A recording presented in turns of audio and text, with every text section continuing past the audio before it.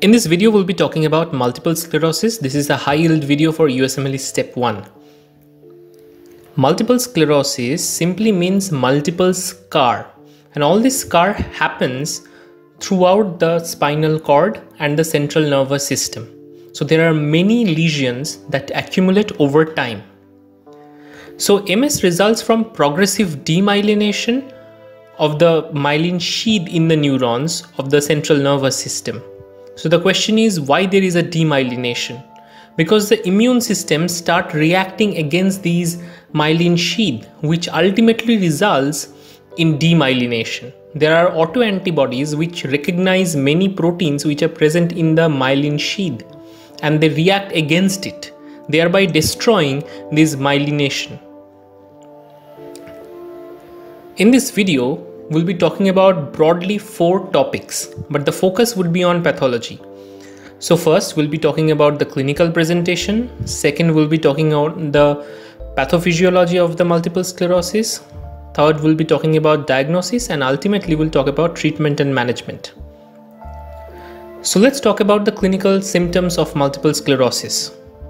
So this particular disease does not affect the peripheral nervous system. So the key nerves that are affected are the optic and the oculomotor nerves. Also, the spinal nerve tract can be affected very much. The symptoms of multiple sclerosis is quite variable. All the symptoms doesn't occur in all the patients. So there are vision problems which are very common about 40% patients show that this kind of problem there are numb, numbness tingling walking difficulty which are also very common in these multiple sclerosis sclerosis patients. There could be additionally dizziness weakness fatigue cognitive dysfunction but all these things appear in a variable percentage in different type of patients based on their ethnicity and the geographical location they belong to. But there are some common criteria to classify multiple sclerosis. This includes dysarthria, that means difficulty and unclear speech, Scar and this happens due to the scars in the brainstem. There could be nystagmus, that means involuntary and rapid eye movement. And there are also lesion in the optic and oculomotor nerve. So there are problems. There could be blurred vision there could be double vision as well. And also there is intention tremor, which arise due to lesion in the motor pathway. All these three symptoms together is known as the Charcot's triad. Multiple sclerosis patholo pathology is characterized by confluent demyelinated areas throughout the central nervous system. This is how a coronal section of a healthy brain look like and this is how a MS brain look like. Already you can see there are many uh, lesions that can present that can be present in the cortical region. Cortical demyelination is pretty common. Alongside there, there could be white matter demyelination as well. And this demyelination, where the myelin sheath is damaged, the conduction velocity of the neuron is affected because myelin sheath works like an insulator for any neuron. These kind of lesions can be detected using magnetic resonance imaging. This is a reference where you can see there are multiple lesions marked by these yellow arrows. Now let's talk about the risk factors. There could be genetic and environmental risk factors. Let's talk about the environmental risk factors first. It turns out that women are more susceptible compared to men when it comes to MS. But why? There could be immunological differences there could be body fat and genetical differences there could be also hormone related differences which might account to these kind of changes. And also geography is a big deal because places where sunlight is limiting for example in the northern part of america and russia the risk of my uh, the risk of multiple sclerosis is very high so vitamin D is somehow correlated with the risk of multiple sclerosis and it has been now shown in many studies. So just to summarize, it is more common in females than males and it is more common in areas which has uh, low sunlight incidence. So here comes the genetic factors. There are more than 200 risk gene variants associated with multiple sclerosis are diagnosed. Most of these variants encode molecules which are involved in the immune system or modulation of the immune system.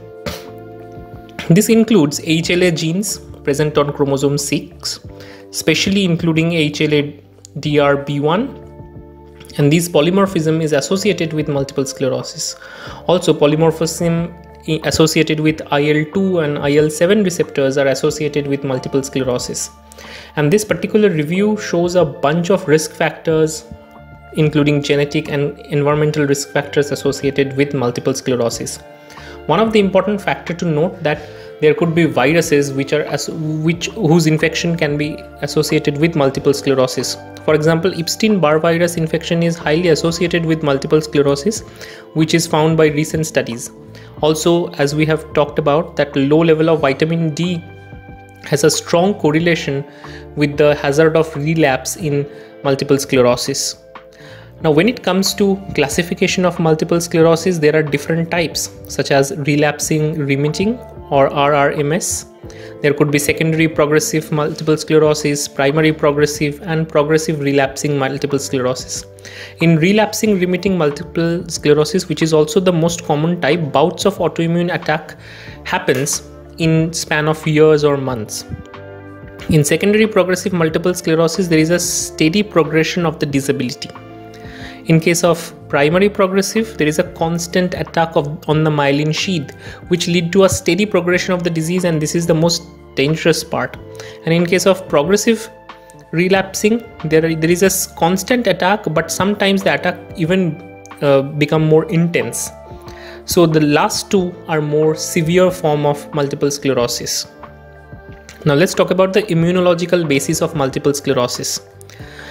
So when it comes to T cells, Th17 subtype of T cell and Th1 cells are highly associated with multiple sclerosis. These are autoreactive T cells.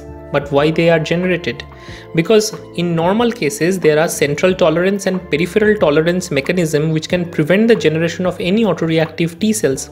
But how come in multiple sclerosis they are generated? So obviously there is a failure in these autoreact uh, in preventing these autoreactive T cells. Anyway, these autoreactive T cells eventually cross the blood brain barrier and enter the brain.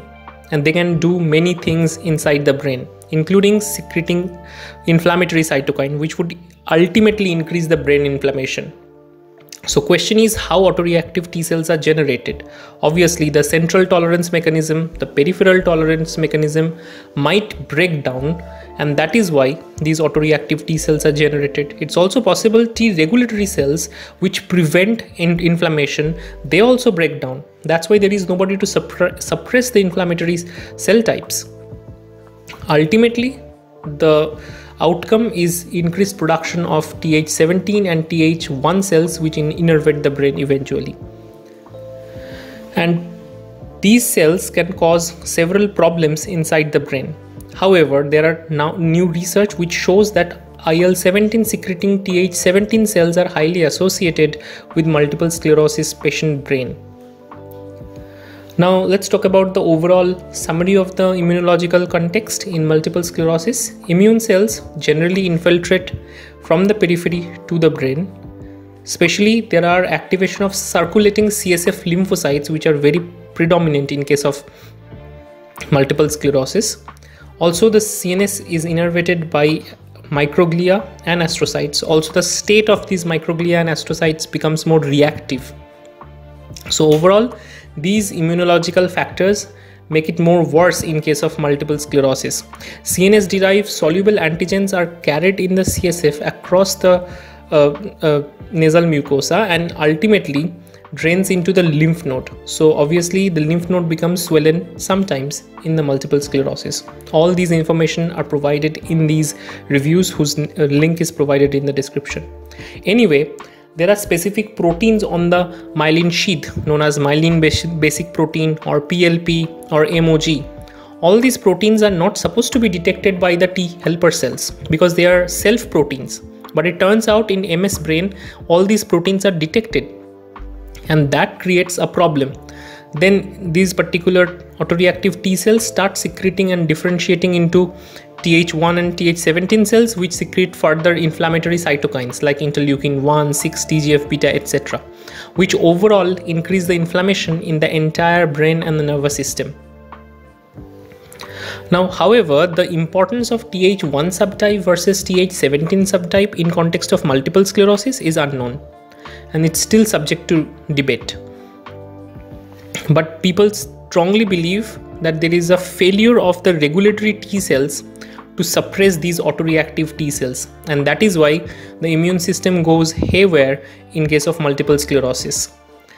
Now there are many clinically relevant biomarkers which are discovered for multiple sclerosis. All of these are basically CSF derived biomarkers. So after lumbar puncture followed by proteomic studies found that myelin basic protein, IgM, oligoclonal bands, uh, neural cell adhesion molecules or NCAMs, osteopontin, then CXCL13, all of these proteins can serve as important biomarker for multiple sclerosis. All these biomarkers can also be monitored in early stage of the disease uh, progression. So the prognosis might be better if we consider these um, biomarkers for diagnosis. Other than biomarkers, there are classical clinical MRIs which are really important and confirmatory for these kind of uh, multiple sclerosis diagnosis. One can clearly understand there would be multiple lesions in the brain as seen here marked by the yellow circles. There is no treatment uh, for available for multiple sclerosis. There is no cure for multiple sclerosis. However all the uh, symptoms such as physical weakness numbness these can be treated with uh, supportive medication physiotherapy can make things better. And i hope this video was useful. If you like this video give it a quick thumbs up. Don't forget to like share and subscribe. Please share my channel link with your friends. And let me know in the comments how do you like my videos? You can support our channel using super thanks. See you in next video